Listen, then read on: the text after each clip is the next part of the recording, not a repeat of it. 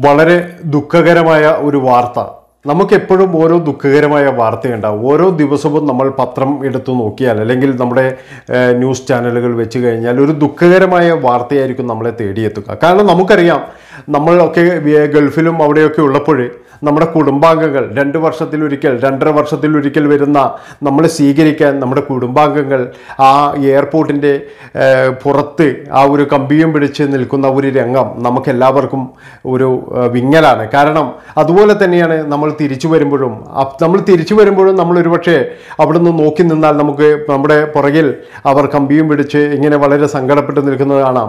പക്ഷേ നമ്മൾ ഏഹ്, വിമാനം ഇറങ്ങി വരുമോ വരികയാണെങ്കിൽ അവർ വളരെ സന്തോഷത്തോടുകൂടി നിൽക്കുന്നത് കാണാം. ഇങ്ങനെ രണ്ട് ദുഃഖവും അനുഭവിച്ചവരാണ് പ്രവാസികൾ. അതുപോലെ തന്നെ ഈ നമ്മുടെ നമ്മൾ നമ്മൾ അവിടുന്ന് ഫ്ലൈറ്റ് ഇറങ്ങി വരുമ്പോൾ നമ്മൾ പെട്ടിയും തള്ളിക്കൊണ്ട് വരുമ്പോൾ നമ്മുടെ കുടുംബാംഗങ്ങളെ കാണുമ്പോഴുണ്ടാകുന്ന നമ്മുടെ ഒരു എനർജി ഒരു വല്ലാത്ത സുഖം തന്നെയാണ്. അതുപോലെ തന്നെയാണ് മൂന്ന് വർഷവും നാല് മാസത്തിനും ശേഷമാണ് ഫൈസൽ ദുബായിൽ നിന്നും നാട്ടിലേക്ക് വരുന്നത്. അദ്ദേഹം എയർപോർട്ടിൽ ഇറങ്ങുന്നതിന് മുന്നേ കോഴിക്കോട് എയർപോർട്ടിലായിരുന്നു ഇറങ്ങുന്നത്. ഇറങ്ങുന്നതിന് മുന്നേ തന്നെ വീട്ടിലേക്ക് വിളിച്ചു പറഞ്ഞിരുന്നു ഞാൻ വരുന്നുണ്ട് രാവിലെ എത്തും. അന്ന് രാത്രി തലേന്ന് രാത്രി മക്കൾ ഉറങ്ങിയിട്ട് കൂടിയില്ല. കാരണം ബാപ്പാനെ കാത്തിരിക്കുകയാണ്.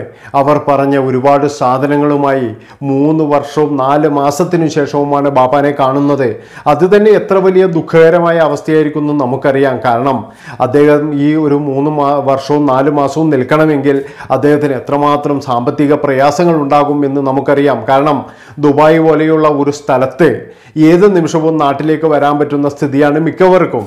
നേരെ മറിച്ച് സൗദിയിലാണെങ്കിലും അല്ലെങ്കിൽ മറ്റുള്ള സ്ഥലത്താണെങ്കിലും അങ്ങനെ പെട്ടെന്ന് വരണമെന്നില്ല. കാരണം സൗദിയിലൊക്കെ ഒരു രണ്ട് വർഷങ്ങളൊക്കെ കഴിയാതെ നാട് എന്ന് ചിന്തിക്കാൻ തന്നെ പ്രയാസമാണ്.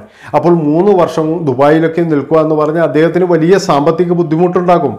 അങ്ങനെ കുഞ്ഞുങ്ങളുടെ ആവശ്യങ്ങളെല്ലാം ചോദിച്ചറിഞ്ഞ് ആ കുഞ്ഞുങ്ങൾക്ക് എന്തെല്ലോ ടോയ്സും കാര്യങ്ങളൊക്കെ വാങ്ങിച്ചു വരുമ്പോൾ ആ മക്കൾ കാണുന്നത് പിന്നെ പിതാവിന്റെ ചേതനയേറ്റ ശരീരമാണ്. എങ്ങനെ ആ മക്കൾക്ക് ശക്തി കിട്ടും? എങ്ങനെ ആ മക്കളെ സമാധാനിപ്പിക്കും? ആ ഭാര്യയെ എങ്ങനെ സമാധാനിപ്പിക്കും? ആ ഉമ്മയെ എങ്ങനെ സമാധാനിപ്പിക്കും? ഒരു വലിയ പ്രശ്നങ്ങളായിരുന്നു. ആ ഒരു ദുഃഖമാണ് ഇന്ന് താനൂരിലും അതുപോലെ തന്നെ കോഴിക്കോട് എയർപോർട്ടിലും കണ്ടത്.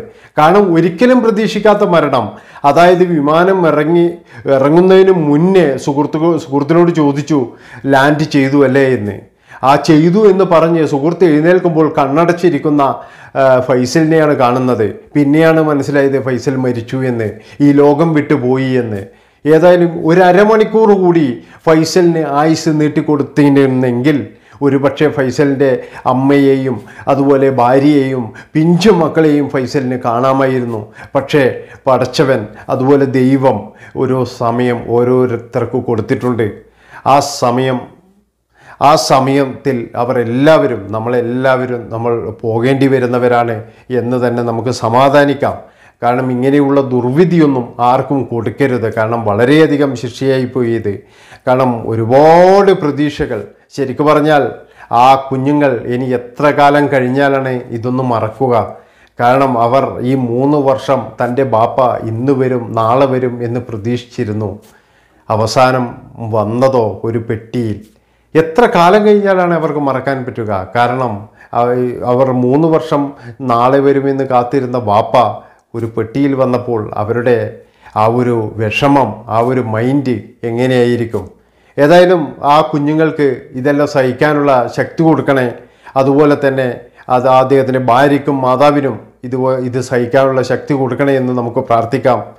വേറെ ഒന്നും നമുക്ക് ചെയ്യാൻ കഴിയില്ലല്ലോ. ഇത്രയും പറഞ്ഞുകൊണ്ട് ഈ വാക്കുകൾ ഇവിടെ വെച്ച് വൈൻഡപ്പ് ചെയ്യുകയാണ്. നമ്മുടെ ചാനൽ ഇഷ്ടപ്പെട്ടു കഴിഞ്ഞാൽ നിങ്ങളെല്ലാവരും സബ്സ്ക്രൈബ് ചെയ്യണം. നന്ദി നമസ്കാരം.